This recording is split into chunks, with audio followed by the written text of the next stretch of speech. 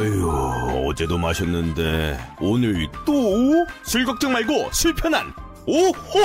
흠, 회식은 좋은데 술이 걱정이네. 술 걱정 말고 술 편한 오호 흠, 회식은 좋은데 술이 걱정이네. 술 걱정 말고 술 편한 어호. 제가 술이 약해서 술 걱정 말고 술 편한 오호!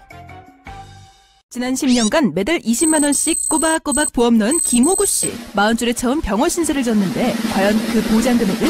꼴랑 100만 원이요. 왜 이렇게 실망스러운 겁니까? 제가 뭘 잘못한 겁니까? 보험 손해 보지 마세요. 최고의 전문가들이 본인에게 가장 적합한 보험으로 맞춤형 리모델링 해드립니다.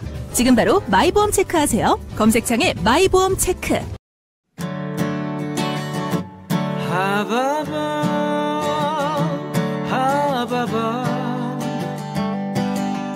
하늘에 바라고 바랍니다 4 하바바 하바바 아, 예.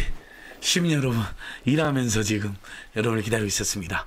방금 전까지 송영길 정치 탄압 대책위에서 사회를 보고 있었는데, 잽싸게도 이쪽으로 날라왔습니다. 차는 막혔지만, 예, 차들을 막 뚫고, 어, 전남 광양에서 또 구례에서 곡성에서 그 일대에서 윤석열 정권에 맞서서, 어, 정말, 어, 제대로 치열하게 투쟁도 하고 또 민생 정치, 노동 존중의 정치를 실천하고 계시는 이충재 전 전국 공무원 노조 위원장 모셔가지고 저희들이 특별 방송을 오늘 이렇게 안진걸 TV, 인사이트 TV에서 공동으로 하게 됐습니다.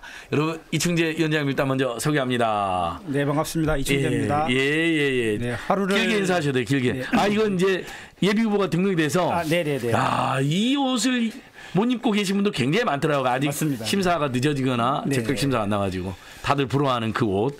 예, 인사하십시오.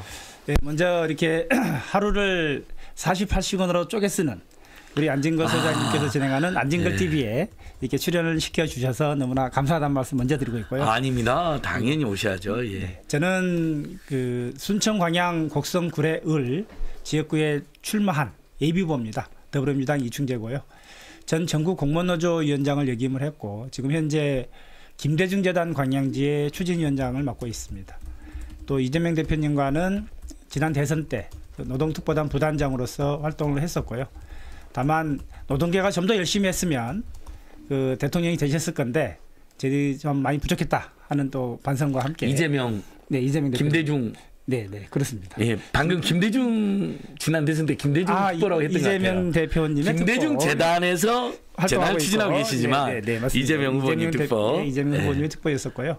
아무튼 저희들이 김대중 정신을 계승하고 또 그 이재명과 함께 또 이러한 일들을 해나가도록 그렇게 하겠습니다. 예, 그러니까 원래 전국 공무원 노조 위원장이셨고 지금은 통합 통합 공무원노조 위원장이신가요? 아, 공무원노조가 약간 분화가 돼가지고 네네네. 어떻게 돼요? 그 지금 하신 일도 좀 소개를 하시면 될 것 같아요. 이제 김대중 재단 외에도 네, 그 제가 이제 전국 공무원 노조를 그 2000년도에 만들 때부터 좀 시작을 했었고요. 예, 그리고 이후에 그 교육국장 또 사무처장, 부위원장, 위원장까지 다 역임을 했습니다.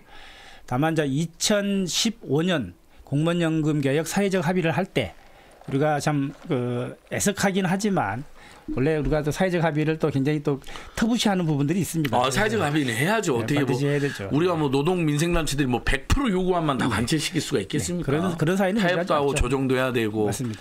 대화도 하고 그래야 되는 거죠. 사회적 합의를 했다는 이제 책임을 지고 제가 아, 그- 그때 그- 내부에서 비판이나 반발이 있어서 네. 이제 사회적 합의를 한 다음에 그 항의는 받아들여서 이제 네. 사퇴를 하셨던 기억이 나네요. 네, 예. 맞습니다. 그래서 사실 사회적 합의를 추진을 하면서 그 여야 공통으로 그런 얘기를 한 적이 있습니다. 왜냐하면 우리 사회가 언제 변변한 사회적 합의를 한 적이 있었느냐. 네. 그리고 특히 증세와 복지를 얘기하는데 증세 복지는 사회적 합의가 없으면 불가능합니다. 그렇죠. 그래서 예. 그런 그 계기들을 그 우리가 시범 모델을 한번 만들어 보겠다 했고 저는 사실은 그 잘한 사회적 합의를 생각합니다. 예. 다만 사회적 합의 자체를 이제 그 거부하는 분들이 있어서 예. 뭐 그게 이제 우리 노동운동의 모습이기도 하고요. 뭐 엄연한 현실이니까 그래서 그 현실을 제가 돌파를 못했습니다. 그리고 그 사실상 뭐 쫓겨나다시피 해서 나와가지고 통합공무원을 만들었고 네, 이제 그리고 내부에 거세게 항의하는 네. 분이 있어서 네 네. 사퇴를 한 다음에 좀 더 합리적이고 네네. 또 시민들과 함께하는 공무원 운동, 공무원 네. 노조 운동이 필요하다 해서 통합 공무원 노조 네, 통합공무원 노조를 만들었었고요. 네. 위원장을 맡았고 그리고 그러면서 사실은 그 공무원 그 공무원 노동 운동을 포함해서 한국 사회 노동 운동이 좀 사회 운동화됐으면 좋겠다.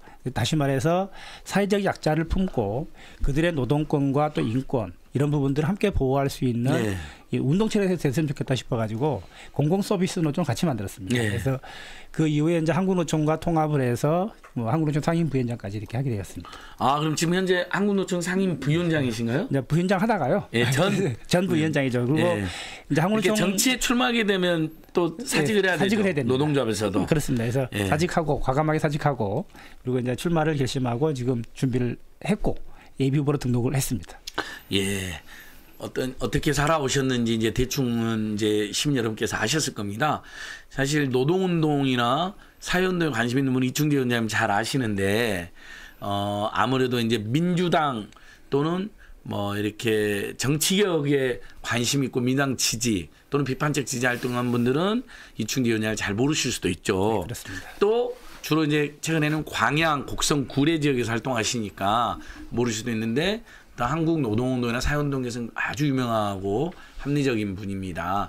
나중에 제 우리 강릉에서 활동하시는 김중남 전 공무원노조 위원장도 한번 오신다고 같이 하더라고요. 활동도 했었습니다. 예, 지금 이제 김대현 의원도 민주당 입당해서. 맞습니다. 어, 강릉 지역에 이제 후보 출마를 추진하시던데요. 네. 일단 이렇게 노동운동이나 사회운동 했던 분들 또 공무원들을 위해서 아니 국민들을 위해서 공무원 활동 열심히 했던 분들이 정책 마인드하고 봉사 마인드가 있잖아요 여러분 거기다 노동운동을 했고 사회운동을 했기 때문에 투쟁 마인드까지 있거든요 사실 정치인들이 봉사 마인드, 정책 마인드, 투쟁 마인드 이 세 삼박자가 있어야 됩니다.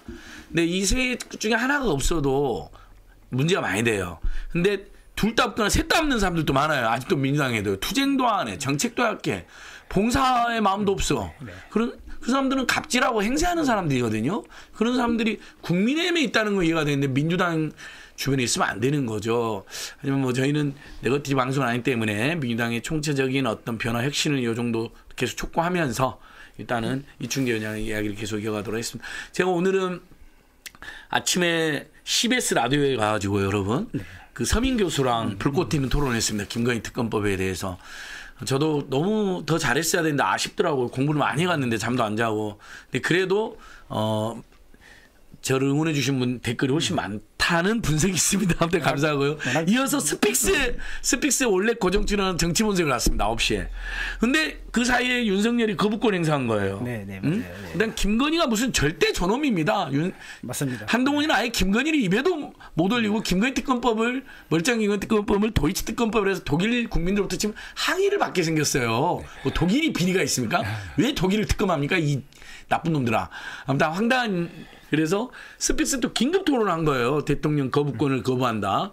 그러고 있는데 또 강등권한테 연락이 온 거예요. 이 바로 국회에서 공동 기자회견에서 국회로 달려가지고 백혜숙 푸르당 TV 대표님, 오동현 검사 검사 모임 대표님, 뭐 임세은 우리 공동상 등등 기자회견하고 그리고 바로 또 4시에 송영길 대책이 출범식 있었던 거예요. 검사 독재 규탄한다. 그래가지고 지금 대책위 출범식 1시간 동안 사회를 보고 이리 달려온 겁니다.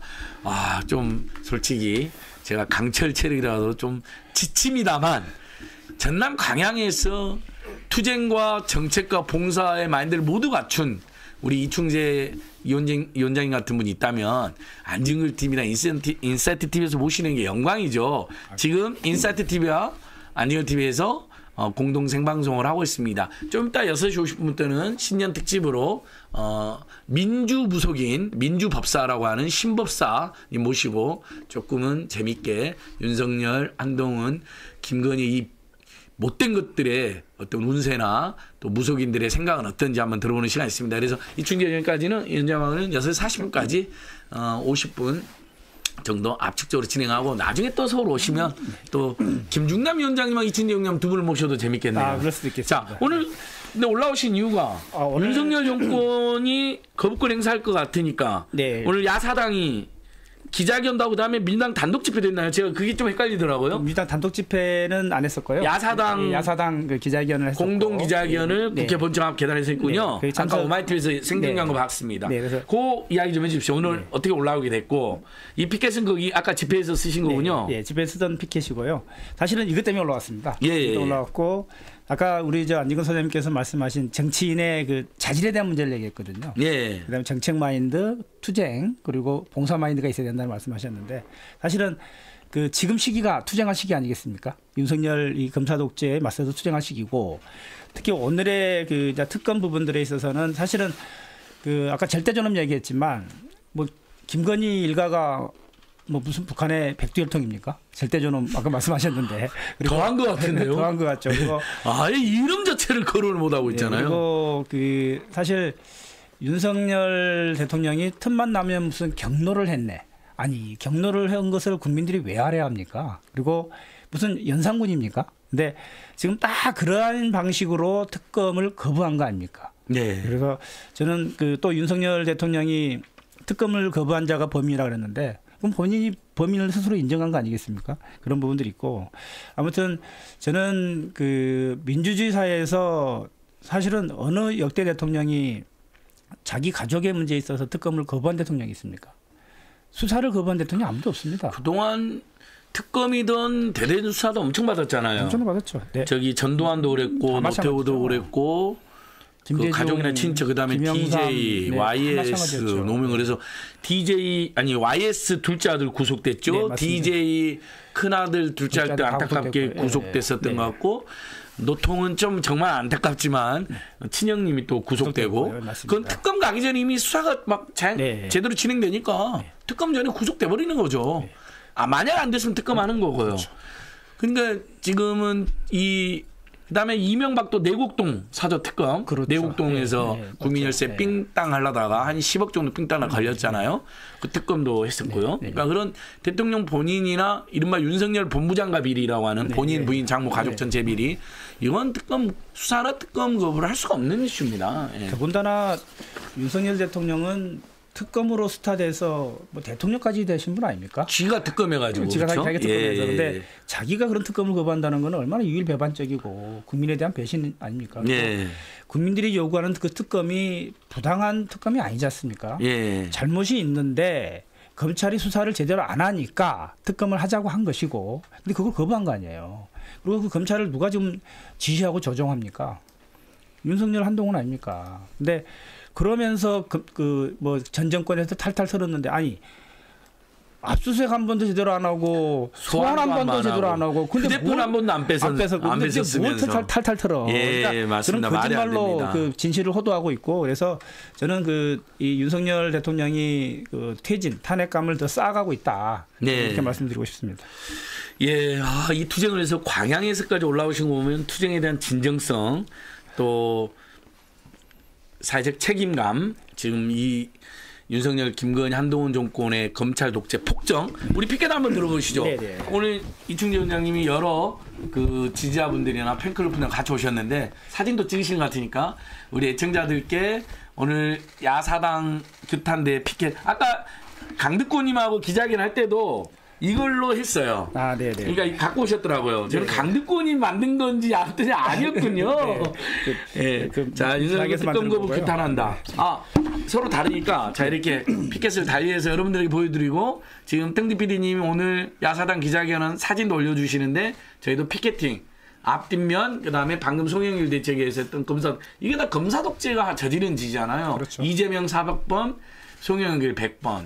그다음에 황운하 의원 그다음에 문재인 정부 인사들에 대한 끝없는 괴롭히기 죽이기 이게 다 정치 검찰 독재가 자행하고 있는 거고 동시에 어 비판자들이나 야당과 진보 세력은 그런 정말 어마어마한 직권남용과 정치공작과 사건 조작을 저지르면서 윤석열, 김건희, 한동훈의 비리와 관련된 건 단 하나도 수사를 못하게 하고 그렇죠.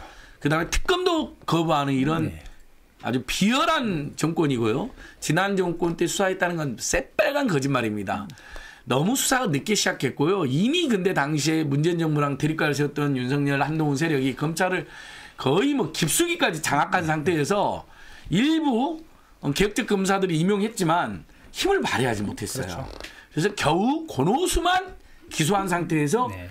마침 수사를 했는데 윤석열 대선 경선이 시작돼 버린 거예요. 국민의. 네, 네, 네. 근데 사실 대선 경선하고 그다음에 이재명 후보하고 대선 선거가 시작되면 아무리 개혁, 개혁적인 검찰에다 소환 조사하기가 좀 어렵잖아요. 왜냐하면 네. 경선에 개입했다. 네, 네. 그다음에 대선에 개입했다 이런 엄청난 반발을 받을 거니까 윤석열 지지자들이나 그 보수 지지자들 그래서 아예 수사를 중단해 버린 거거든요. 하려다가 제대로 하지도 못하고 끝난 거예요. 너무 시기가 늦어져 가지고요. 2020년 2월 달에 뉴스타파 보도로 처음으로 불거졌으니까 생각해보세요. 시간이 얼마나 되는지. 근데 1년 내내 안 했어요. 네. 2021년에 조금 시작했대요. 뉴스타파 파악해 보니까. 그래서 권오수 정도 기소한 다음에 김건희는 손도 못 대고. 왜냐하면 윤석열 한동훈 의세가 너무 세고 네. 그 윤석열 한동훈을 비화하는 정치 검사들이 곳곳에 있었다는 거예요. 네, 네. 수사를 계속 방해한 거죠. 그런데 당선까지 돼버렸으니까 네, 네. 더더욱 수사를 뭐, 못했던 것입니다. 예. 그래서 어, 오늘 뭐 많이들 오셨던가요? 그 오늘 집회 풍경 못 네. 보신 분도 있으니까 한번. 그다음에 음. 이재명 대표님이 지금 피습당해서 제가 큐를 밀고 있는데 못, 오- 당연히 못 오셨고 네, 홍익표 원내대표님이 리드에서 하신 거죠? 네, 홍익- 그 집회 풍경도 좀 이야기해 주십시오. 오늘 뭐 홍익표 내 대표님 주도로 이렇게 집회가 있었고 또 이제 의원님께서 이제 다 바쁘시기 때문에 뭐 거의 다 오신 것 같지는 않고요. 많이 네. 못 오셨더라고요. 그럼에도 불구하고 그, 야, 그 야사당 그리고 또그 민주시민들이 많이 참석을 해서요. 국회 본관 가득 채워서 그렇게 지금 기자회견을 했습니다. 그만큼 그 윤석열 정부의 그 거부권 행사에 대해서 그만큼 많은 규탄하는 목소리들이 국민들을 대변해서 함께 했다. 이렇게 좀 생각을 합니다. 예. 그리고 이제 오신 김에 안진걸 TV도 와주시고 아, 네. 감사합니다. 고맙습니다. 현재 감사합니다. 안진걸 TV와 인사이트 TV에서 어, 생방송을 하고 있습니다. 이충재 TV도 있는 걸로 알고 있는데요. 이충재 TV는 만든 지 얼마 안 됐고요. 네. 그래서 뭐 구독자도 적고 또 이 기회에 좀 구독도 많이 좀 늘려야죠. 감사하겠습니다. 천 명이 넘어야지 아마 생방송이 가능할 거예요. 그래서 네네. 천 명을 빨리 만들어 가지고 저는 이미 구독했죠. 최대한 빨리 하도록 하겠습니다. 예전에 이충재 의원님이랑 최진모 목사님이랑 풋 콘서트 했던 거 네, 네. 제가 제 안진걸 TV에도 올려놔가지고 감사합니다. 안진걸 TV를 유심히 보신 분들은 아 그때 풋 콘서트 네. 최진봉 목사님이랑 교수님이랑 이충재는 안진걸 그걸 기억하시는 분도 있을 겁니다. 예, 현재 이충재 TV 구독자가 128명입니다. 어제 김종욱 박사님 그 북콘서트도 제가 갔었는데 김종대 의원님하고 저하고 거기는 100명도 안 되더라고요. 김종 박사님 인제 만들어가지고 정말 유명한 분인데 그러니까 유튜브도 정성과 시간이 좀 필요합니다. 여러분 자 이충재 TV 구독 오늘 128명을 최대한 최소한 200명 이상을 한번 만들어 주시고요. 또 우리 어, 지금 안진걸 TV로 봐주신 분들도 어, 인사이트 TV하고 이충재 TV 구독 좋아요는 반드시 눌러주시고 지금 현장에 우리 그 이충재 위원장님 팬클럽 분들 많이 오셨는데 안진걸 TV 구독 좋아요 다 눌렀나요? 다 눌렀습니까? 다 눌렀다고 합니다. 네. 인사이트 TV도요. 인사이트가 아니고 인싸이트입니다. 쌍시옷. 예. 오신 김에 그다음에 우희종 TV까지 서울대학교 우희종 우희종 TV 네. 이 세 개는 다 구독 좋아요 누르시고 댓글도 많이 달아주십시오. 여러분 이충재 위원장님 응원의 글이나 궁금하신 거 있으면 계속 말씀해 주십시오. 자, 근데 노동운동가에서 또 사회정책가에서 또 공무원에서 원래는 공, 공무원 노조 조합원들은 다 공무원이 아니면 자격이 없잖아요. 특수직용 노조기 때문에 그렇습니다. 네. 그러면 대부분이 중앙부처 공무원도 있고 지방 지자체 공무원도 있잖아요. 네, 공기업 공 노조는 공기업 직원들은 공무원 노조는 안 들어오죠. 당연히 안 됐죠. 그다음에 교사들은 교사만 공,立학교 교사에도 정교조에 들어가거나 아 교사들은 공무원 노조에 가입 가- 자격은 되는군요. 아니 그것도 안 됩니다. 아 그럼 법이- 교사들은 별개입니다. 네. 교사들은 전교조나 교사연맹. 한국 교사 노조 이렇게 네, 네, 그렇게 최근에. 열심히 투쟁했 이렇게 들어가고 네. 그러면 이제 어 이충재 위원장님은 부부 공무원이라 들었는데 네, 부부. 원래 광양 시청. 시청 공무원이셨어요? 네, 맞습니다. 그 이야기도 좀 한번 해주십시오. 그러니까 처음에 어디서 공무원 생활했는데 어쩌다가 정말 정말 그 공직사의 부패나 갑질도 심했고 그래서 노동운동에 투신하게 됐고 그 다음에 어쩌다가 정말 내가 민주당으로 이재명 대표 와 함께 정치를 하게 됐는지 네. 그 이야기도 한번 네. 풀어주십시오. 뭐 집사람을 만난 거는 그 공직에 막 들어와서 네. 집사람도 뭐 이렇게 일찍 들어왔고요. 저도 마찬가지인데. 아 두 분이 공무원 생활하면서 만난 네, 거죠. 뭐 어찌 보면 첫사랑이죠. 첫사랑으로 만나서 한 7년 이상 오래 사귀고 그리고 그 지금까지 이렇게 살고 있습니다. 예. 그 노조를 하게 된 계기는 말씀처럼 그 당시에 공직사회는 굉장히 관료주의가 그 횡행한 시기였습니다. 좀 부패도 많았었던 시기고 그래서 한번 그 계획을 해야 되겠다. 한번 누군가는 나서야 되겠다라는 생각이 있었고 물론 그 공무원 노조를 하기 전에는 저도 나름대로 그냥 뭐 이렇게 좀 나가는 부서 잘 나가는 부서에 그냥 근무를 했었는데요. 근데 그것보다 더 중요한 거는 그 신년대로 사는 게 더 중요하겠더라고요. 그래서 그 당시에는 불법이었습니다. 노조를 만드는 것 자체도 불법이었고 그리고 법도 없던 시절인데 노조를 만들었고 또 법까지 만들었고 합법화까지 다 이- 했습니다.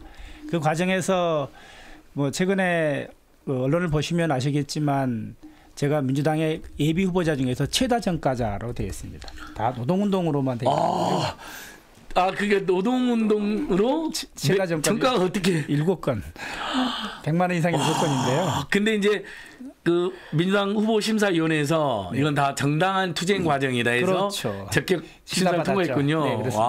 왜냐하면 노동운동이었으니까. 대단하네요. 이인영 의원 같은 경우도 전대협 활동으로 예를 들면 집시법, 뭐 국가법 비슷한데 그리고 또 한 번 들어간 뭐 이렇게 두세 번씩 들어가잖아요. 또 노동운동.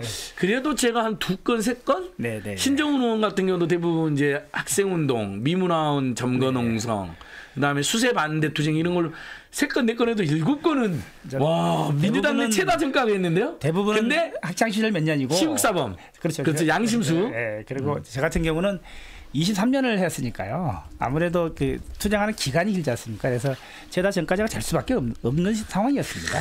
그리고 저는 뭐 그거에 대해서 한 점도 부끄러움이 없습니다. 왜냐하면 투쟁을 해야 할 때 도망치지 않고 투쟁을 했고 네. 저는 윤석열 이 검사 독재 정권과의 투쟁을 해야 한다면 기꺼이 투쟁할 겁니다. 또 그 길에 설 겁니다. 그리고 그러한 마음으로 정치를 하게 됐고 저는 노동운동을 하면서 늘 약자와의 동행을 꿈꾸고 살았습니다. 정치가 바로 그런 거라 생각하고요. 물론 뭐 이재명 대표도 그 억강부약 대동서양을 아, 말씀하셨고 깡구역 대동선상 너무 멋있는 구입니다. 저도 예. 사실은 약자와의 동행, 자, 공동체주의를 표방하고 살아왔습니다. 그래서 음. 사실은 개인적 인연의 문제가 아니라 신념과 가치가 그 통하는 부분들이 많이 있더라고요. 그래서, 예. 그래서 지금 같이 하게 됐던 거고. 그러니까 이제 노동운동으로 전까지 일곱 번의 그 고통과 고충과 저기 고민이 있었지만 이제 전국 공무노조위원장, 통합공무노조위원장, 항노총 상임부위원장까지 한 다음에 이재명과 함께 세상을 한 번 더 네. 민생 정치, 노동 존중, 그 다음에 억강부약 대동 세상에 사회 약자를 위한 정치에 뛰어들게 된 거예요. 대선 때는 이제 후보는 아니었으니까 이재명 후보 선대위 뭐 맡으셨나요? 노동특보단의 부단장을 했었고. 노동특보단 부단장님. 네. 단장은 누구였어요? 그때 우리 같이 노동운동 했던 분인데 네. 선배님이신데. 아. 음. 그래서 그리고 그뭐 노동 부분에서도 열심히 했습니다. 사실은 제가 이제 그 당시에 한국노총 소속이었는데 예. 그 한국노총이 이재명 대표를 지지를 선언을 했고 아, 또 그렇죠. 운동을 하면서 그 이후에 윤석열 정권으로부터 탄압도 많이 받았습니다. 예. 사실 고스란히 노동운동 하면서 많이 그 한국노총이 이렇게 많이 탄압받아 본 적이 없었을 겁니다. 그래서 그렇게 좀 대가를 치르고 있는데요. 뭐 근다고 해서 뭐 한국노총이 뭐, 뭐 쓰러지거나 하지도 않습니다. 굳건하게 더 버틸 거고요. 항노총이 지금 조합원 수는 민노총하고 거의 비, 비슷비슷하잖아요. 그 이제 조금 더 많다고 알고 있습니다. 항노총이 예. 항노총 한 150만 명 되나요 조합원 네, 숫자? 그. 민노총 한 140만 되는 네, 그 같습니다. 예, 가끔 순위가 바뀌기도 하더라고요. 왜냐하면 대규모 노조가 들어갔다. 민주노총으로 예, 들어가면 예, 민노총 예, 1등이 돼요. 예. 아니 이런 선의 경쟁은 좋습니다. 여러분 한국노총 아직도 오용 노조로 기- 이렇게 잘못하는 아우, 분들이 있는데요. 아주 일부가 아직도 있는 분들이 있어요. 네. 근데 한국노총 대다수는 굉장히 개혁적이고 또 윤석열 정권에 굉장히 적극적으로 맞서 싸우고 있다 이렇게 이해하시면 될 것 같고요. 네, 맞습니다. 예. 그 뭐- 그래서 이제 근데 대선이 대선이 너무 피눈물 나게 졌어. 내셨어요. 네. 그 다음에 이제 내가 한번 직접 정치를 이런 생각을 하시게 된 건가요? 그- 그것도 좀 설명 이야기를 해주시면 좋을 것 같아요. 그러니까 제가 정치를 하게 된 계기는 물론 이제 지역에서부터 그런 요구들이 좀 있었고요. 그리고 그 좀 정치를 좀 운동처럼 하는 정치인이 좀 있었으면 좋겠다 하는 예. 생각을 했었습니다. 그래서 제가 이제 결심을 하게 된 과정도 그러면 이 지역구 정치인이니까 그럼 지역 운동을 좀 제대로 한번 해- 해봐야 되겠다. 그러면 뭘 해야 될까? 그러니까 결국은 그 지역도 이렇게 농촌이 소멸되면 안 되고 지역이 소멸되면 안 되기 때문에 지역의 일정한 발전을 이끌어낼 수 있는 그런 비전을 좀 세웠으면 좋겠다 하는 것이 있었고 그리고 사실 호남의 민주당은 저는 위기라고 생각합니다. 음. 지역민들로부터 엄청난 비판을 받고 있고요. 시민들을 섬기지 않고 제대로 일하지 않는다라는 비판 개모이 받아들이고 이 민주당을 혁신해야 되겠다는 생각을 했습니다. 그리고 가능하면 제가 국회의원 당선되면 광양 지역위원회만큼이라도 전국에 가장 모범되는 지역위원회를 만들고 결과적으로 이- 그- 그렇게 잘 만들어 놓으면 전국이 다 따라하지 않겠습니까? 그러면 민주당이 혁신하는 겁니다. 대표한테만 혁신하라 혁신하라 요구한다고 되는 게 아니잖아요. 네. 모든 당원들, 모든 지역위원회 또 모든 국회의원들이 함께 노력해야 될 부분인 겁니다. 이재명 대표가 혁신을 못했으니까 비판하고 본인들 아무것도 안 하면서 네. 뒤에서 총질만 해야 되면서 뭐 이렇게 해서는 안 되는 거잖아요. 그래서 그런 부분들이 있고 그리고 사실 뭐 우리 사회가 그 좀 나이 드신 분들 뭐, 뭐 누가 586을 비판하는 건 아닙니다. 근데 그러한 세대들이 결국은 기득권을 너무나 오랫동안 쥐고 있고 그러면서 청년들에게 희망을 주지 못하고 있습니다. 그래서 저는 그런 청년들에게 좀 희망을 주고 그리고 빨리 세대 교체를 시켜주는 것이 우리가 해야 될 몫이 아닌가 싶어서 그래서 정치를 열심히 하게 됐던 겁니다. 네. 그, 586 정치 이야기 하셨는데, 비판하셔도 돼요. 그러니까, 586 세대로서 여전히 열심히 살고, 투쟁도 하고, 이런 분들은 당연히 정치하셔야 되고, 네. 비판받을 일이 없죠. 하지만, 586 다선 의원이 됐는데, 네. 감동도 없고, 열심히도 안 해. 네. 이재명을 이렇게 죽이려고 작정하고 마녀 사냥하는 윤석열, 김건희, 한동훈 정권에 맞서서 투쟁도 제대로 안 해. 네, 그게 참 그런. 분들은 이제 정치 그만해야죠. 그 최소한 국회의원 그만해야죠. 예. 국민들의 세비와 민주당 당원들과 시민사단체 지지로 운영이 되는데 결국 국민들의 고통과 민주당 당원들의 열화 같은 투쟁 의지를 외면한다? 그분들은 왜 정치를 할까요? 그리고 이제 호남 정치도 얘기하셨는데 586 정치 저는 호남 정치도 정말 제가 보니까 그렇습니다. 정말 한 7, 80% 현역 교체해야 됩니다. 그런 여론이 실제 여론조사 잡혔잖아요. 네. 다른 지역은 민주당 현역 의원 교체 여론이 한 50%에서 55%였는데 호남 70% 정도 갈아야 된다. 네, 막 이렇게 국민들이 생각하셨 호남 국민들이 생각하시더라고요. 그래서 이미 호남 민주당이 상당히 기득권화되어 있고 과- 저기 구태화되어 있다. 네. 그런 지역이 많은데 실제 그렇습니까? 지역에서 지역민들을? 만나보면 압니다. 아, 체감했을 때 그런 질타들이 많고 그리고 뭐 제가 물론 뭐 이재명 대표를 좋아해서 하는 그런 건지 모르겠지만 이재명 때문에 탈당 안 하고 있다는 어르신들도 무지하게 아주 많죠. 이재명 대표 팬들이 많은 게 맞고. 네, 그래서 그런 네. 것들을 보면서 또 저는 사실 이렇게 생각합니다. 예를 들어서 이재명 대표가 지금 뭐 사법 리스크가 있네. 뭐 다, 엄청난 지금 그 사법 쪽 공격을 받고 있잖아요. 네. 탄압받고 있는데 사실 야당이 똘똘 뭉쳐서 방어를 해줬으면 이렇게까지 못 끌고 옵니다. 어떻게 이럴 그렇죠. 수가 있습니까? 근데 내부에 정말 예, 내부의 적이 그 외부의 적보다 훨씬 무서운 건데 정작 투쟁은 하지 않고 내부에서 뒤에서 총질을 해버리기 때문에 아니 검찰 입장에서는 꽃놀이패를 쓰는 거 아니겠습니까? 이런 것이 사실은 저는 이 민주당 내에 지금 그 팽배해 있는 문제가 아닌가 싶은 거고 국민들은 그걸 질타하는 겁니다. 특히 호남의 정치인들에게 질타하는 것이 바로 그런 거예요. 그러니까 호남 정치는 어디 갔습니까? 김대중 정치는 어디 갔습니까? 네. 일부러 맨날 그 그냥 파리만 하지 말고 이럴 때 싸울 땐 싸우고 그리고 자기 당 대표를 못 지키면서 어떻게 국민을 지킵니까? 아유 속이 다 시원해지네요. 그렇죠. 국민들이 원하는 게 예. 바로 그거 아닙니까? 예, 맞습니다. 호남의 지역민들이 원하는 게 바로 그겁니다.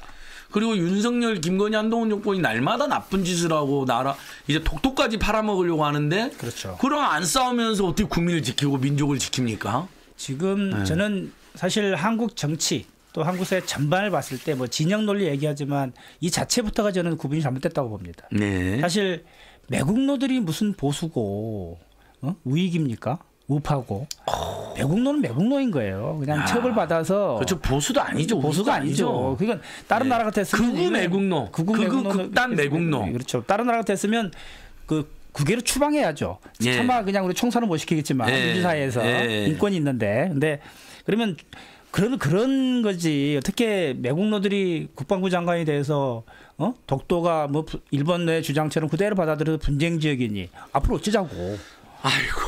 그건 일본 제국주의자들 하는 말이잖아요. 그러자- 그렇죠. 분쟁 지역화해서 네. 이득을 누리고 그래서 독도론쟁함 다시 먹고 그다음에 한반도까지 재, 재침략 재점령하려는 건데 딱 본인의 조국이 일본이나 미국이 아닐까 싶어요. 지금- 윤석열이나 신원식이나 네, 김태호나 이런 사람들은 그래서 이 정권 대한민국 아닌 것 같은데요? 이 정권 자체에 힘을 쓰는 사람들은 다 그런 방, 그 사고 방식 을 가진 것 같아요.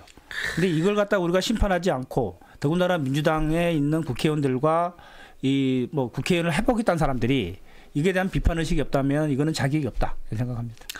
네, 아유, 아무튼간 공무원 노동운동, 그러니까 성실한 공무원에서 공무원 노동운동가로 그러다 무려 일곱 개의 정가 어, 별이라고 하는데 이제 떳떳한 정가는 별이라고 하면 일곱 개의 별을 달고 그다음에 이재명 대표 당선 후보 당선에서 애쓰시다가 이제 안 되겠다 호남 정치 그다음에 옛날에 정말 혁신적이고 열심히 싸웠던 386들이 지금 굉장히 이제 무능이나 구태에 어, 젖어 있는 걸 보면서 직접 연배는 비슷하실 네, 테니까 맞습니다. 80년 학번이실 것 네, 같아요 맞습니다. 대략 네.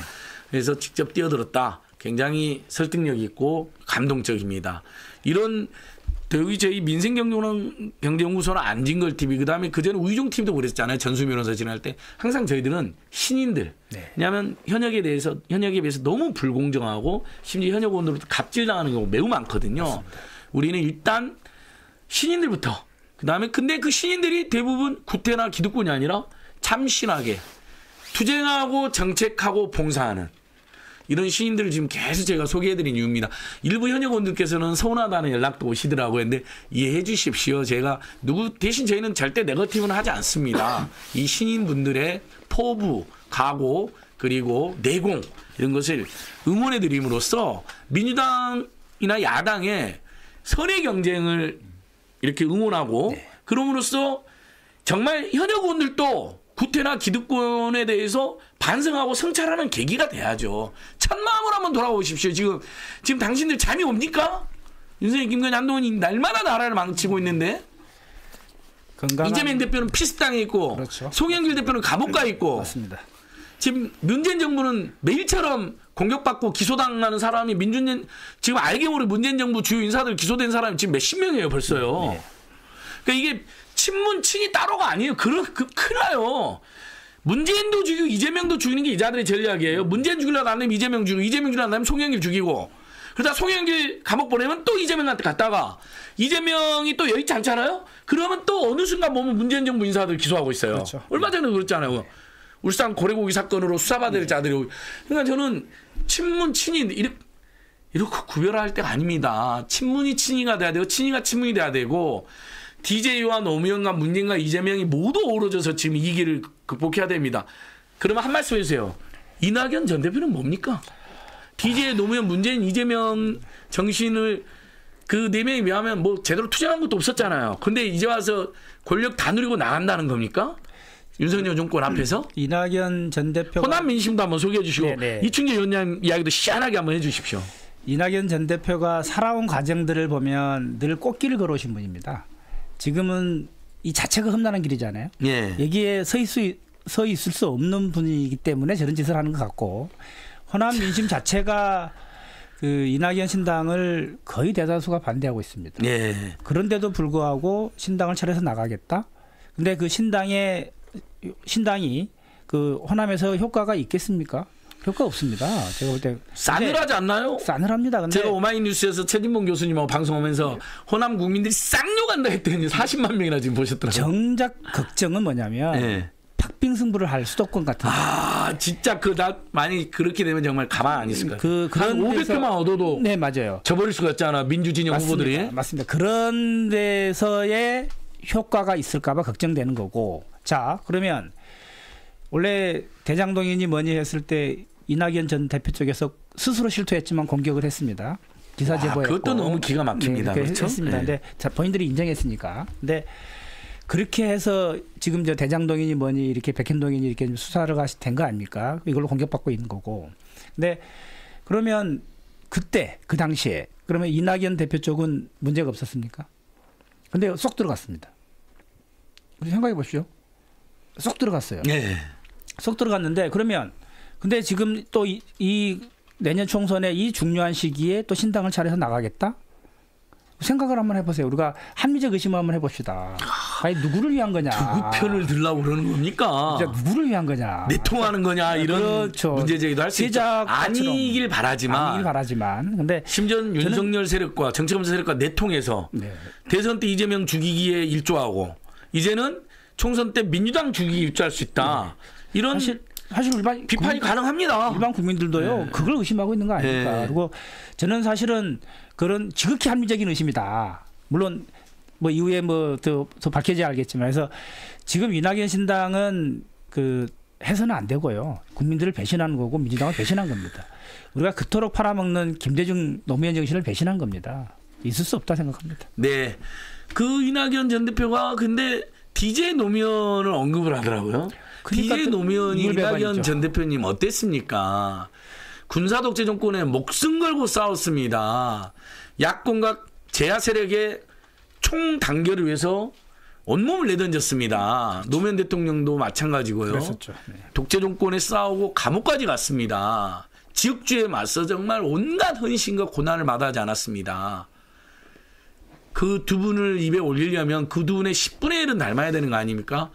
아, 여기까지. 왜냐하면 또 저희는 네거티브를 원천적으로 안 좋아합니다. 근데 이건 어쩔 수 없이 정당한 비판 한번 해야 될 상황이고 월요일 날도 지금 혁신과 태진 모임 강득구원님 민생경님 모여서 특검 거부한 윤석열 강력 규탄 그다음에 이런 윤석열을 두고 민당을 분- 야권을 분열시키려고 하는 이, 이낙연 전 대표 강력 비판 기자회견 잡혀 있습니다. 그럼 그대로 하고요.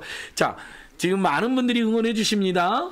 우리 여러분 우리 이충재 위원장님 어, 전남 광양 곡성구례에서 정말 치열하게 살아오신 분인데요. 훈민정음님께서 지난 대권 실패한 호남분에 대한 책임은 안 지고 분열만 일어나는 것 같아 너무 답답합니다. 배윤정님께서 이충재님 화이팅 힘내세요. 예.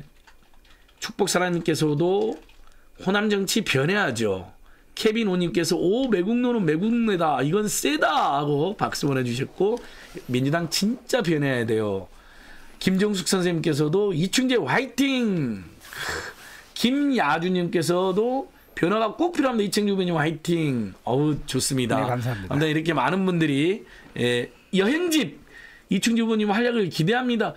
어, 지지자들 좀 푸셨습니까? 아, 아니죠. 네, 그런 건 아니고요. 예, 네, 감사합니다. 아니 네. 지지자들 푸셔도 돼요. 우리 지지자들부터 유튜브에 적극적으로 들어오셔서 응원해 주셔야 다른 분들도 또 들어오죠. 이게 사람들이 들어오고 댓글창이 활발하고 그러면 또 많은데 노출도 되고 더 들어오시는 것 같아요. 여러분 얼마 안 남았습니다. 이충재 영장님 6시 40분이면 끝나야 돼요. 늦어도 45분은 끝나야 돼요. 그러니까 저 어서들 들어오셔서 이충재 영장님 어, 목소리도 듣고 말씀도 한번 들어보세요. 정말 민주당에 이렇게 뜻깊은 신인들이 많습니다. 그 더민주 혁신회도 활동하고 계시죠? 제가 제일 네네. 지금 응원하는 데가 더민주 혁신회. 네, 네, 네. 혁신과 태진 네. 또 새로 이렇게 새 모임이 참 보기 좋더라고요. 민주당 그 안팎의 네. 그 신인들 또는 네, 투쟁하는. 네. 정치가들 모임. 더민주 혁신의 이야기도 좀 한번 해주시죠. 그러면. 뭐 제가 더- 더민주 혁신회의 네. 뭐 핵심 멤버는 아니지만 어쨌든 간에 그냥 같이 표방하는 가치 뭐 뜻이 있지 않습니까? 그냥 그 동의됐기 때문에 활동하는 것이고 예. 또 그분들 중에서도 이제 출사표를 던져서 활동하신 분들이 많습니다. 다 다 그냥 입성했으면 좋겠습니다. 아, 예. 그리고 그 무엇, 무엇보다도 뭐 더민주 혁신회의를 얘기를 해서 뭐 이재명 대표를 당연히 얘기 안 할 수가 없는데 예. 빨리 좀 쾌유를 했으면 좋겠고요. 특히 그 몸의 쾌유뿐 아니라 특히 마음의 쾌유가 좀 급할 것 같습니다. 아, 앞으로 지지자들이나 시민들 만나는데 그런 트라우마라든지 네. 그 뭔가. 두려움, 네. 온천적 두려움 이런 게 있으실 것 같아요. 좀 송영일 대표님이 감옥에서 아 대선 전에 먼저 망치 피습을 당하셨잖아요. 그래서. 네. 그 굉장히 고통스럽답니다. 네. 아프기도 아프지만 두려움, 네. 또 불신, 네. 누가 와서 날 때리면 어떡하나 막 이런 거. 그래서 그게 보통 일이 아니라고 잘못했으면 정말 목숨도 잃을 뻔한 아. 끔찍한 네. 암살 미수, 네. 정치 테러도 끔찍하지만 정말 단독범행이라 보기에는 너무 치밀해 가지고요. 계획범죄 같아요. 계획범죄에다가 계획범죄. 배후 세력도 있는 거 네, 아닐까. 뭔가 있, 있는. 그리고 네. 이 보니까 이재명 대표를 악마처럼 생각했다는 것 같은데 네. 윤석열, 김건희, 한동훈 세력들이 이재명 입만 열면 이재명을 음해하고 악마하는 직접적 하더라도 그렇죠. 간접적인 최소한 원인이겠죠. 간접적인 네. 도의적인 네. 책임은 분명히 있다고 생각합니다. 네, 우리가 이런 비참한 사건에서는 사실 어, 말을 좀 조심히 하고 함부로 평가해서는 안 되지만 그래도 할 말은 해야 되지 않겠습니까? 저는 예. 그이 방송을 그 주- 기회를 주셨으니까 꼭 예. 드리고 싶은 말씀이 저희들이 단순하게 윤석열 정권을 그냥 뭐 이렇게 어, 진영 논리를 비판하는 게 아닙니다. 뭐 대통령을 누가 돼도 잘할 수만 있으면 되면 됩니다. 국민들이 행복하면 되고요. 근데 지금 윤석열 정권 들어와서 민생 경제가 지금 폭망을 하고 있지 않습니까? 예. 한반도 위기도 지금 거의 폭망 지경에 있고 뭐 그 전 정권이 퍼주기로 해서 뭐 북한이 미사일을 쏜다 하지만 지금은 뭐 안 그렇습니까? 근데 사실은 이 미사일을 그, 그 이렇게 대립적 구도로 막을 수는 없잖아요. 대화 안 하고 대화 안 하고 궁지. 보면 네, 더, 더- 극단적인 더 행동하죠. 그다음에 더 무기를 무기로 봉쇄하려고 그러겠죠. 맞습니다. 또 민주주의도 너무 그건 간단한 논리 아닙니까? 맞습니다. 예. 또 민주주의도 좀 폭망하고 있고 그래서 이런 전반적인 것 때문에 윤석열 정권을 비판하고 퇴진과 탄핵을 얘기하는 것이지 단순하게 그 윤석열이가 그냥 싫어서 진영 논리에 입각해서 이런 얘기는 아니다라는 점을 국민들께서 좀 인정을 해주시고 예. 또 그 논리가 타당하면 때로는 박수도 보내주고 진영을 떠나서 그렇습니다. 그렇게 했으면 좋겠다라는 말씀을 이 방송을 통해서 꼭 드리고 싶습니다. 왜냐? 정치라는 거는 또 정치인이 되겠다고 하는 거는 모든 국민들을 행복하게 하기 위해서 하는 거거든요. 사실 그러한 주장 자체가 그 국민들이 행복한 그런 대한민국을 만들겠다 하는 것이기 때문에 좀 그렇게 봐주셨으면 좋겠습니다. 네. 지금까지 뭐 우리 위원장님 뭐 벌써 한 40분 넘게 해왔는데요. 좀 시간이 아쉽습니다. 근데 뭐 남은 기- 시간 동안 더 우리 위원장님 포부를 들어보고 싶은데 광양 곡성 구례 지역의 어떤 특질은 어떻습니까? 사람들이 의외로 구례하면 화암사, 광양하면 포항제철, 포항에 있는 포철공단의 광양공단, 네. 그 다음에 이순신 장군 유적. 거기서 아마 노량은 모르겠는데 한 명량하고 한산 중에 광양에서 찍었죠. 명량 명량이 광양에서 찍었고, 명량을 네, 광양- 광양 에서 찍고 네. 예. 노량도 좀 아마 광, 한 광양 찍었을 겁니다. 곡성 구례 네. 설명을 좀 해주시면 좋. 그다음에 이제 그 지역의 쟁점이나 현안도 좀 설명해 주시면 좋을 것 같아요. 네. 광양 구례 곡성은 크게 보면 광양망권, 또 섬진강권 이렇게 볼 수 있는데요. 네. 그 산업 도시의 특성도 가지고 있고 농촌 지역의 특성을 가지고 있습니다.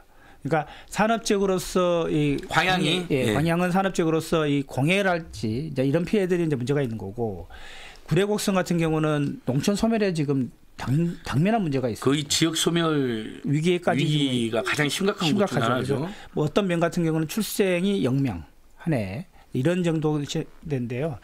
저는 사실 제가 이렇게 그 지역 정치인을 하겠다 하면서 좀 우리 정치인들이 좀 반성을 좀 해야 되겠다는 생각이 많이 갔습니다. 왜냐하면 정치인 개개인 혼자만 뭐 정치하려고 하고 있고 또 지자체도 보면 각각 따로 놉니다. 광역만권 전체를 놓고 봤을 때 산업 발전도 같이 하고 네. 그 그에 관련된 그- 그 수혜도 같이 누리고 이런 식으로 했으면 좋겠고 또 광양만권 그러면 또 영원 그 하동 남해도 포함되거든요. 그래서 그 광양만권 전체에 대한 저는 그 성장 산업 특구를 좀 만들자. 국가 재원이 좀 들어오고 또 네. 공업 공해 지역에 사시는 분들은 좀 쾌적한 데로 좀 이주를 시키고 그걸 이왕 그 공단 안 만들 수는 없으니 네. 이왕 있는 그 터전 그대로 새로 만들지 말고 음. 공단화 시키고 그러면서 새로운 성장 산업들을 좀 유치해서 일자리도 만들고 해야 지역 소멸이 안 됩니다. 그리고 그러한 수혜들이 그 구례나 곡성 같은 또는 하동이나 남해 같은 데에도 이렇게 더 들어갈 수 있게끔 하면서 그 지역도 좀 잘 살 수 있게끔 해서 좀 영원함이 함께 그리고 지역에 있는 정치인들과 그리고 지자체가 함께 그런 그림들을 그리고 함께 추진했으면 좋겠다는 생각을 가지고 그러한 저 국회의원이 되면 그런 특별법도 발의를 할 거고요. 네. 광양만을 전체를 중심으로 놓고 예, 그래서 예, 공업 도시의 발전은 광양을 중심으로 네, 광양 그다음에 수- 농, 농촌은 있고요. 지역 소멸을 막는 특단의 그렇죠. 대책을 네, 그렇게 지금 예. 그림을 그리고 있고 그 그렇게 해야 모두가 살 수 있습니다. 예. 특히 국토 균형 발전을 얘기하는데 특히 또 저출생 얘기하거든요. 근데 농촌 소멸이 될수록 저출생은 더 심각해집니다. 예. 생각을 해보십시오. 도시로 도시로 그 특히 젊은이들이 또 이게 그 모이게 되지 않습니까? 생존 본능 때문에요. 결혼도 안 하고 애도 안 낳습니다. 그것은 저번에 한국은행인가 통계청 보고서에도 네, 당연한 겁니다. 저출생의 주요 원인 중에 하나죠. 예. 지나친 경쟁, 네. 그다음에 교육비, 양육비 너무 과다. 네, 당연하죠. 그러니까 민생고. 그다음에 세 번째가 이 서울로의 집중과 과밀화. 네, 맞습니다. 그러니까 들면 서울로 다 왔는데 살 수가 주거 없죠. 지역, 교통 지역, 네. 민생 지역. 그러면 연애, 결혼, 출생에서 굉장히 뭐랄까 머뭇거릴 수 없고 본능적으로 안 하겠죠. 네, 머뭇거리고 네. 고 본인도 먼저 살아야 되니까 그렇죠. 또. 아이를 낳고 잘 네. 키울 자신도 없고 네. 고통이 배가 되니까 그 지적이 국책은행 그다음 국책연구기가 한국은행 산하연구소에서 발표를 했네요. 그게 저희들 주장 아니라 실제 예. 그렇잖아요. 예. 근데 지역으로 지역이 골고루 잘 살아. 그래서 지방대 나와서 지역에서 취직도 잘 돼. 지방대가 사- 다 무상교육이야.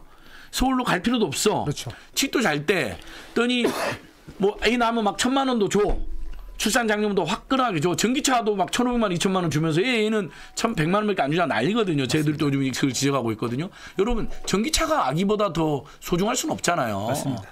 그다음에 하순 씨 같은 거, 전남 하순 같은 경우는 1만 원짜리 공공임대주를 줘요. 네. 올, 월세가 1만 원이에요. 신혼부부.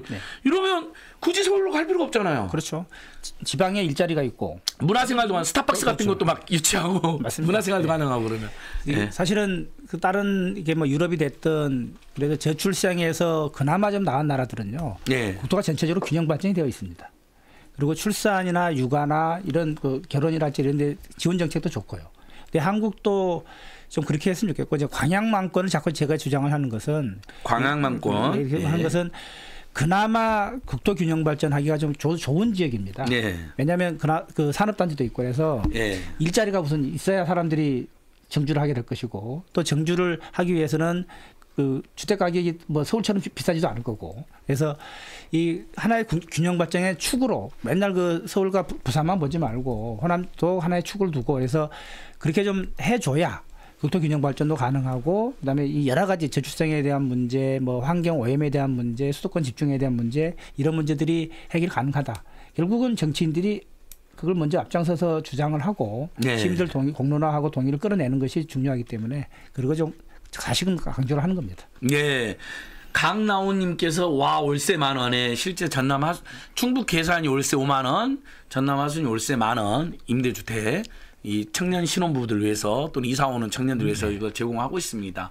근데 그런 대책도 주목을 받는데 좀 입체적이어야 되겠죠. 네. 주거만 되죠. 줄인다는 네. 건 교육 환경, 네. 문화적인 어떤 소외나 차별 없는 거. 의료도 마찬가지고. 예, 의료도 마찬가지고 그러니까요. 일본데 일본 전대병원은 있지만은 지금 여수 광양권에 국립대병원이 없죠.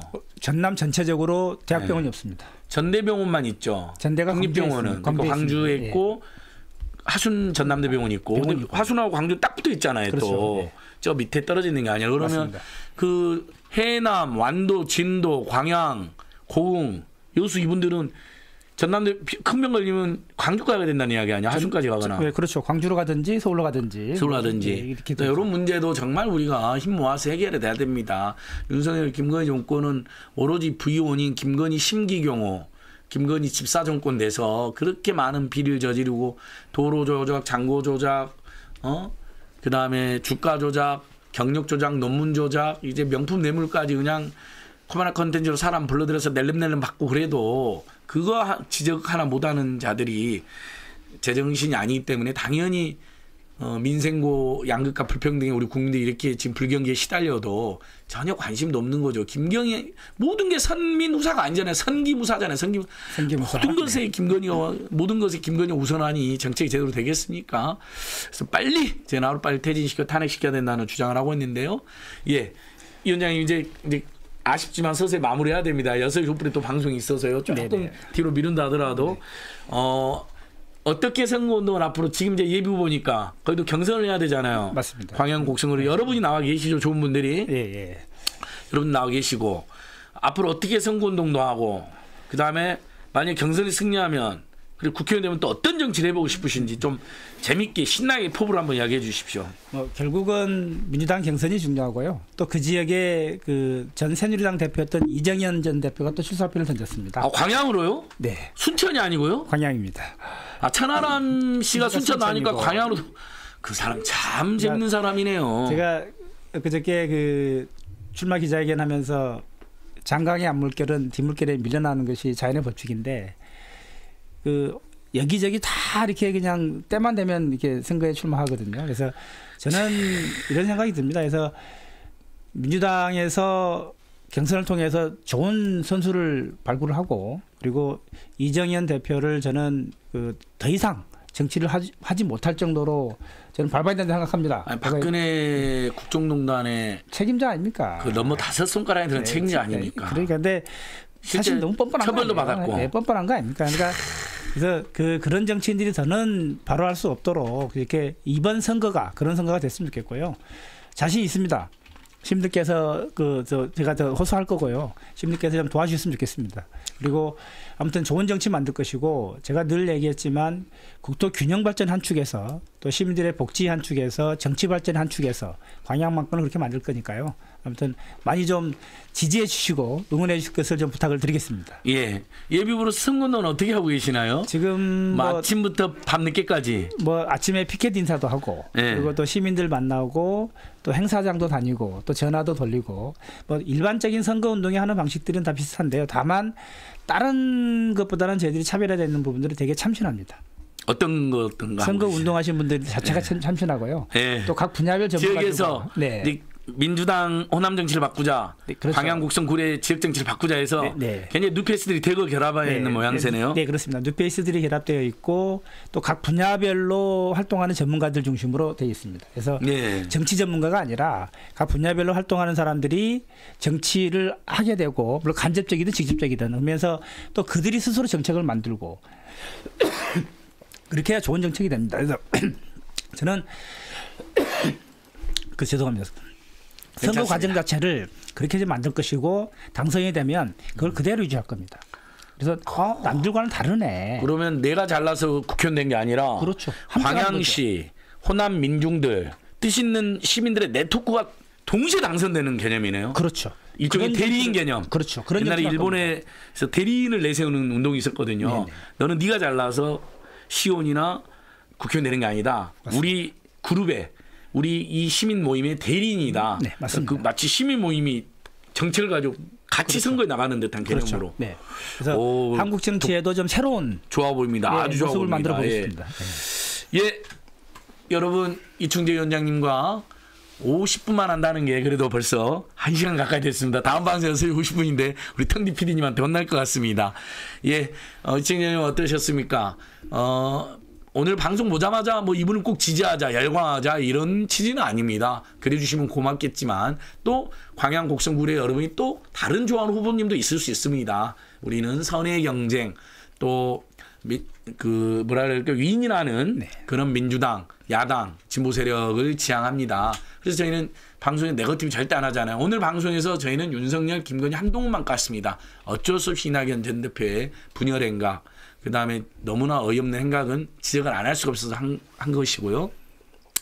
이충재 위원장님의 장점으로서 어, 지역에서부터 공무원을 해오고 정말 근데 공직사의 부조리라든지 부패에 맞서서 또 어, 국민을 위해서 봉사하고 양심적으로 행정을 집행하는 어, 공무원 사를 만들려고 공무원 노조에 뛰어들고 그러다가 정가 7범에 안타까운 별을 달고 그런데 오히려 그게 양심수고 시국사범이니까 어, 민주당 적격 심사를 통과해서 예비후보로서 열심히 뛰고 계시고 그래서 공무원으로 봉사했던 것또 사회운동 열심히 했던 거 그걸 바탕으로 이재명 후보 당선을 위했었는데 분노, 분노를 울렸지만 이제 우리 피당 이재명 대표를 지켜고 회복한 다음에 다시 이재명과 함께 민주당과 함께 정말 호남 정치, 지역 정치를 혁신하겠다라는 포부 어, 굉장히 저는 한 시간 내내 제 귀가 즐거웠습니다. 감사합니다. 이, 어, 이충재 형 같은 신인 정치인들 뜻 있는 정치인을 만나면 기분이 굉장히 좋아집니다. 훈훈해집니다. 이런 분들이 민주당의 주류가 돼야 됩니다. 당선되시면 제일 좋겠지만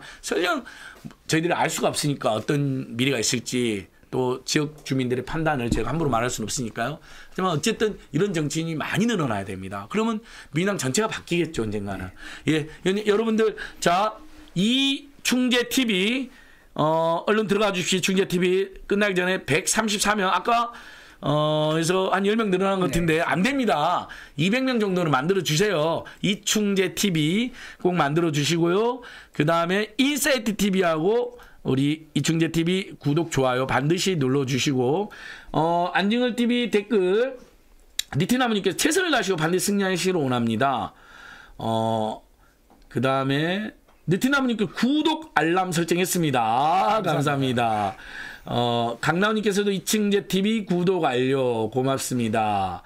어, 지 운 지운 성님께서도 맞습니다. 완전 눕혀서 바뀌어야죠. 선거 때만 고향 내려는 선수들과 이제는 이별해야 됩니다. 마- 맞습니다. 지역 정치 진짜 제대로 해야죠.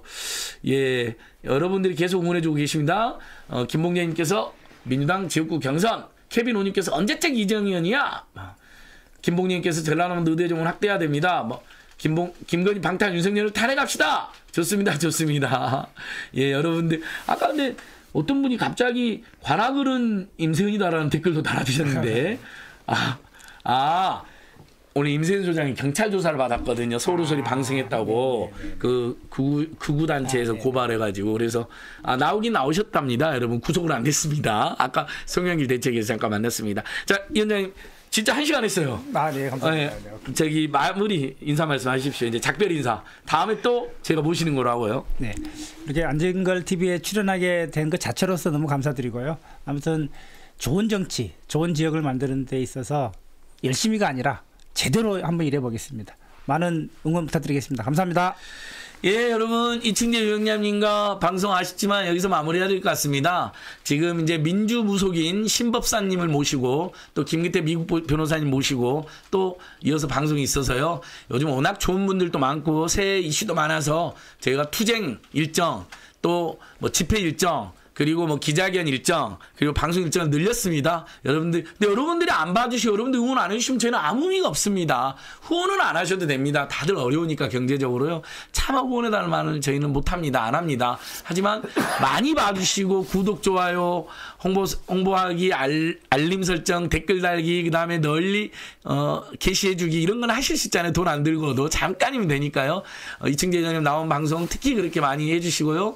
우리 광양 곡성 구례 또는 전남 도민들이 봐 주셨다면 늘 사랑하는 우리 남도 주민 여러분 고맙습니다. 이층재 위원장님 항상 건강하시고요. 좋은 결과 있기를 어, 시민들과 함께 응원합니다. 오늘 방송은 마치도록 하겠습니다. 안녕. 이층재, 이층재, 이층재 안녕.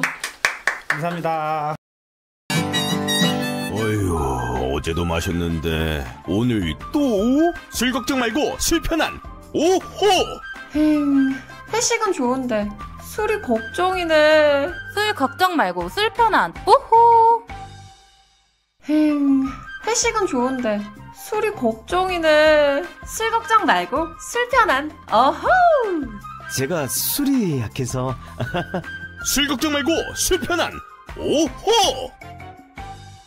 지난 10년간 매달 20만 원씩 꼬박꼬박 보험 넣은 김호구 씨. 40줄에 처음 병원 신세를 졌는데 과연 그 보장 금액은?